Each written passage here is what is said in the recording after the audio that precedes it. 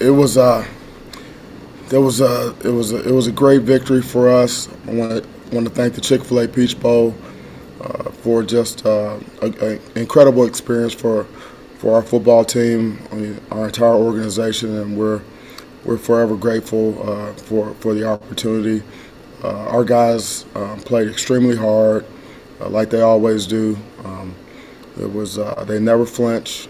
they continue to, to, just keep chopping wood and keep believing, and and we were able to hit our stride there in the second half and play complementary football and offense, defense, and special teams, you know, working together, and we were able to, uh, you know, take it down into the deep into the fourth quarter, and and uh, and we we got stronger and stronger as the game went, and uh, we went down into the deep water, and and uh, we were able to to find a way to get it done, and it was uh, we were really uh, really proud of our guys and and our seniors our fans were incredible. Um, they they traveled, they were deep, and they really they really um, helped pull us through. And uh, so I know there's going to be a lot of a lot of uh, partying in in the Spartan Nation tonight, and so uh, it was just uh, a great experience. And uh, you know to get to 11, 11 wins and and uh, and the New Year's Six Bowl is quite an accomplishment for this for this group. All right, our first question will come from Chris Solari. Mel, I wanted to talk a little bit about that fourth quarter, in particular, the job that Peyton did. Um, there, there didn't seem like a lot of panic or impatience there on those final two drives. What did you see from him, and really, what what was the difference maybe between those middle couple quarters where he was missing some targets and when he started to find that rhythm? Well, he showed tremendous poise. He showed a level of maturity um, you know, we we talked throughout the, throughout the entire game, um, and uh, and uh, you know we just talked about you know what do we need to do to, to get better. You know what do we need to do to get on get on track, and you know we had a we had a, you know we kept communicating, and, and he said that you know that he was missing he was missing some throws, and and uh, you know he wasn't uh, he wasn't accurate, and I asked him why. I said why you know why why why is that? And he says, he told me that he, he uh, it was his footwork, and that he, he was, uh, you know, really just not not delivering the ball the way he normally does. And I, and I told him, I said, well, you know, get your feet right, you know, fix your footwork, and cut it loose. You know, just just start slinging it. And he said, okay. And uh, and then uh, you know, he and he went out and, and he did that. And and uh, you know, he's got good players around him a good offensive line, you know, uh, the receivers, you know, the backs, and you know, defense uh, stood up for us there and, and, got stops and kept getting them the ball back, and we were solid on special teams, so we were able to play field position football, and uh, and we were able to get it done. But uh, Peyton showed a, a, level of maturity um, and just resiliency that, uh, and I told him after the game, I said, you know what, what you did was really hard to do, and uh, and I was really proud of him for that, and it was a great experience, and, and I think the best is ahead for him. Next question, we'll go to Matt Charbonneau. Mel, I want to ask you about the defense. Obviously, they lost the quarterback again, so they're down to their third guy, lost a running back at some point. But can you just talk about this? It's a unit that has, you know, caught a lot of grief this year. You know, hasn't played its best at times, but tonight seemed to really kind of step up. Had a lot forced a lot of punts there, a lot of three and outs. Just talk about that unit's performance overall tonight. Well, I'll tell you what, uh, the preparation leading up to this game was was outstanding. Uh, you know, Scotty and the entire defensive staff put together a great plan. Uh, never wasted a, a, a, minute in preparation, and uh, our guys were, were fresh and they were ready to go, and they understood what what we needed to do, and and uh, and so uh, it was all about execution. Guys played extremely hard. Uh, they believe in what we're doing, um, and and uh, you know we had rush and coverage working together, um, and so uh, it was just a relentless effort uh, for the defense, and you know we were able to uh, you know get some three and outs, we were able to affect the quarterback, and you know get the ball back to our offense, make some big plays, and and that's you know, that's what defenses do. And you know, the the past is not necessarily predictive you know, of the future. You know, unless you don't change the behavior. And uh, you know, we changed some. You know, we we play better. You know, we executed better. We played with better fundamentals. You know, we we uh, we, we we got better um, from the Penn from the end of the Penn State game until uh, until tonight, and so it, it showed on the field, and we and because of that, we got better results. Next, we'll go to Jared Ramsey at the State News. Mel, um, I was just curious. You have talked all season about how this is such a fun group to coach. Um, after the final game, uh, what was your assessment of this team overall and your relationship with them? Well, I told him in the locker room that. Um, well, first I told him before the game that was that we have a tremendous amount of uh, gratitude for this group. You know, our coaching staff, and we appreciate um, them and, and everything that they've done this season, all the hard work that they put in, and uh, you know, and after the game again, you know, just proud of their performance. Um, you know, really um, happy for our seniors that have given us given us so much. You know, given this university so much, and um, and I told him that this performance was was uh, you know very and, and it was very um, you know it was very um, and it was indicative of how we played all season and our culture and you know we're relentless you know, we uh, we don't flinch. Um, we uh, we believe in the process. We keep chopping. Uh, we're we're in great condition, and we know that we can go deep into the fourth quarter, um, and you know wear teams down, you know take them into the deep water, um, and and that's and that's where we that's where we want to be, and we were able to get them to that point, and we're able to finish, and so. Uh, it was uh, it was a tremendous it was a tremendous victory uh, to get to get to 11 wins. Um, it was it's quite an accomplishment, um, and doing it as a as a as a team, playing complementary football. Um, you know that's uh, that was just uh, it was just tremendous. The best is the best is ahead for us. Next, we'll go to Don Montgomery. Thank you. I actually have two questions. Um, I know that I know with coach that you just said that the best is yet to come. Um, just kind of like you just you won your first bowl game. Let's start there. And now that you're moving forward with the team, you're locked in with a great contract and everything to move forward. Um, talk about what you're looking forward to doing in the next season. Well, you know, it's a it's going to be a 24-hour rule for for me, and uh, we're going to enjoy this victory, and then we're going to get back to work.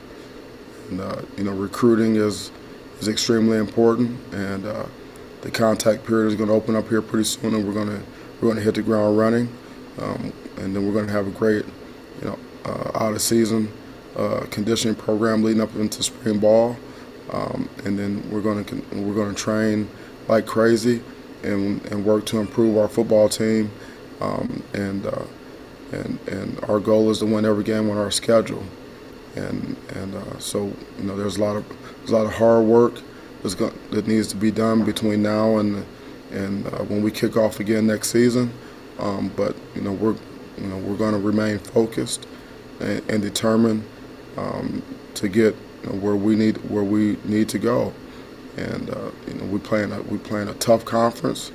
It's very rugged. It's very competitive.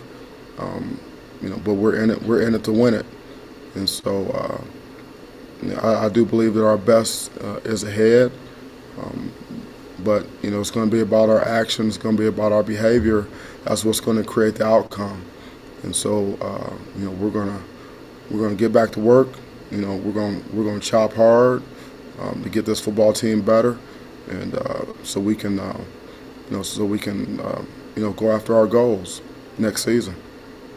Awesome. My last question is about the fans. I know it was exciting to see so many Spartan fans there in Mercedes Benz Stadium. Um, just kind of express your gratitude, I guess, in a sense of support of, you know, the fans, the alumni, the students that travel to the city of Atlanta in the midst of COVID and everything. Just kind of just share your thoughts on that, please. Well, our fans have been great all season and uh, Spartan uh, Spartan Nation is strong, has always been strong.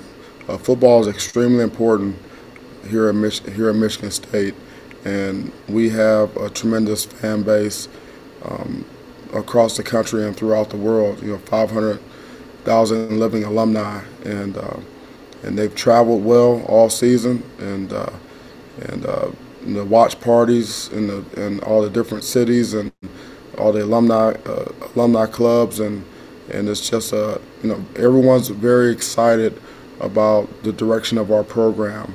And they support us uh, they, they support us uh, in some in, in in many many ways. And and so uh, I, I want to thank our fans you know for believing in us and and supporting our program. And know they will that they will continue to do that and um, our fans deserve a, a, a, winning football team. Our fans deserve a championship football team.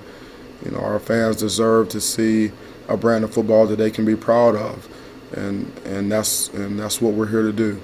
Um, we it, it, means something to us uh, to make our fans proud, and um, and that's something that we that we talk about, you know, all the time, and we're going to continue to do that. You know, we're going to do it as a team. You know, our team on the field and our fans. Um, you know, together, you know, we're going to accomplish some great things here. All right, our next we'll go to Graham Couch.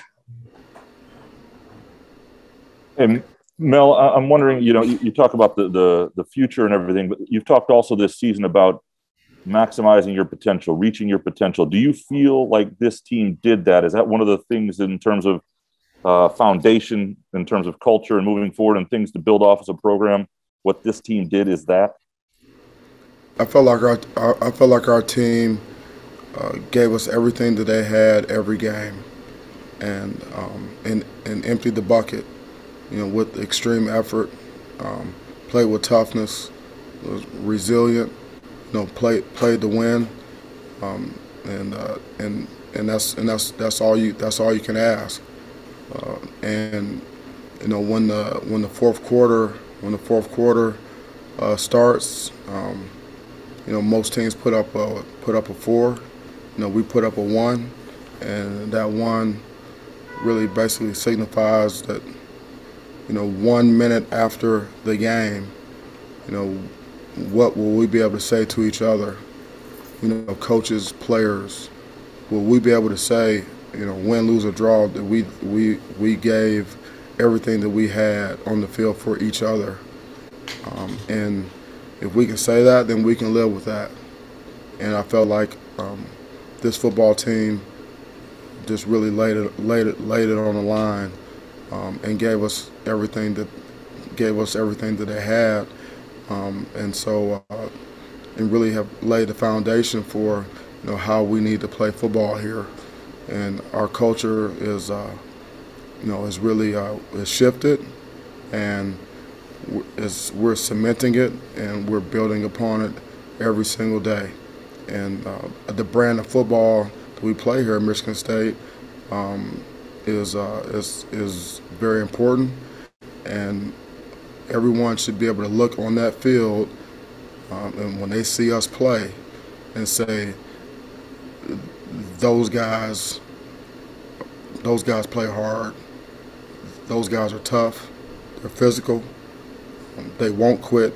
They don't flinch, and and that's what Michigan State football has always been about, and that's what it and that's what that's what we see on the field. All right. In the interest of time, we're going to do three more from the individuals who traveled, starting with Matt Wenzel. Mel, with uh, Jalen coming back, that seemed to obviously make a big difference in your passing attack. And then uh, Jayden Reed and what could have been his final game for you guys turning quite a performance. Just wondering what you saw from those two guys um, together and how that they're them being on the field at the same time changes your passing attack. Well, they're both tremendous players, as we all know. Um, they they compete. Uh, they they they can win one on one. You know, they're dynamic players um, and their team their team guys. Um, they they they block hard in the run game, um, and uh, And in the pass game, you know, th- those guys are hard to cover. You know, uh, and it's not just you know not just deep balls, but you know it could be a short game, intermediate, um, and and also in in, in um, you know the deep passing game. They're very very productive. Um, they're dangerous, um, and they're they're absolute difference makers. Thanks, Mel. Yep, you're welcome. All right. Our next question is going to be Stephen Brooks, and then we're going to wrap up with Jack Ebling. Stephen? Sure. Thanks, Matt. Hey, Mel. Uh, when you you guys have won many games, sort of like this this year, where you've had some late things go in Miami, uh, Nebraska. You know, you you know what I'm talking about. I'm sure. How many times does that have to happen? You think until it just becomes part of that identity and part of that culture, and, and can that carry over into next year when you guys have done it as many times as you have? or does it just always have to sort of be a constantly renewed thing? How can you kind of sustain that, make that that long term? You know. Well, you know, it's, it's part of our it's part of our mental conditioning. It's part of our culture. It's the way we train. Um, you know, it's the way we practice. It's you know, it's our mindset, and um, and that's the way you have to play the game of football. You know, it's a, it's a four quarter game. Um, you have to continue to, to, always play the next play. Um, you know, just you know, just keep chopping, just keep going. Every play has a history and a life of its own, and and so uh, you don't look at a scoreboard. You just you just keep playing the next play with extreme effort and, and extreme toughness, and um, you know, you know, coaching ten years in the National Football League. I mean, almost you know all those games go down. A lot of those games go down to the the last drive you know, two minutes to win the game, you know, and when you're competing at a very high level um, with, uh, you know, against very good competition, you know, you have to be prepared, you know, to uh, to to win games late in the fourth quarter, you know, with conditioning, uh, mental and physical toughness, um, and a never a never stop, never flinch attitude and that's and that's how we train, um, and that's how we need to play, uh, because, you know, the, at the top where the where the best compete, success is measured in inches, and you know you have to be at your best when your best is needed, and oftentimes that's down the stretch, late in the fourth. You know you got to make plays, um, and you got to you got to find a way to get it done. You got to find a way to get in the left hand column because this is a binary situation. You get a one or you get a zero.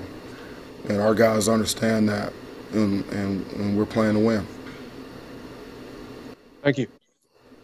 Right, we'll wrap up with Jack Ebling. Mel, with the struggles this year in pass defense, what does it mean to you as a career long secondary coach that you've won or saved five games with late interceptions, key interceptions, and what does it say that you're the only team in the country that's beaten two Power Five conference champions in 2021? Yeah, well, it's uh, it's, it's something to build. It's something to build upon. Um, it, it, means that you know our guys, um, our our coaches, and our players believe in what we're doing, um, and that um, you know when we when we execute um, when we have our rush and our coverage working together, and we um, we play our techniques. We play with great technique and fundamentals. Um, everyone does their job. Um, that you know we can be efficient. You know in in pass defense, and we can be we can be stout in the run game.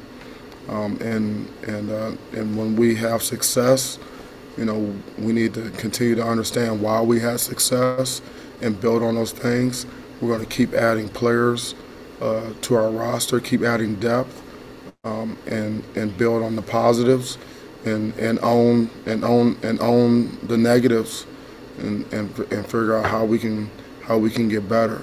And so, uh, but you know, the effort the effort was there tonight, um, and guys were at were there was an element of competitive greatness, um, and and that is you know being at your best when your best is needed, and and um, and that's what we've seen you know this season. Just like you talked about, in several games. Guys have made plays down the stretch um, to uh, to ice games, and and so uh, there's there's got to be uh, there's something to be there's something to be said there's something to be said for that. Um, we do have we do have pride in our program. Um, we do have pride in our defense. Um, we're not where we we're not where we need to be, um, but um, we're going to we're going to get there.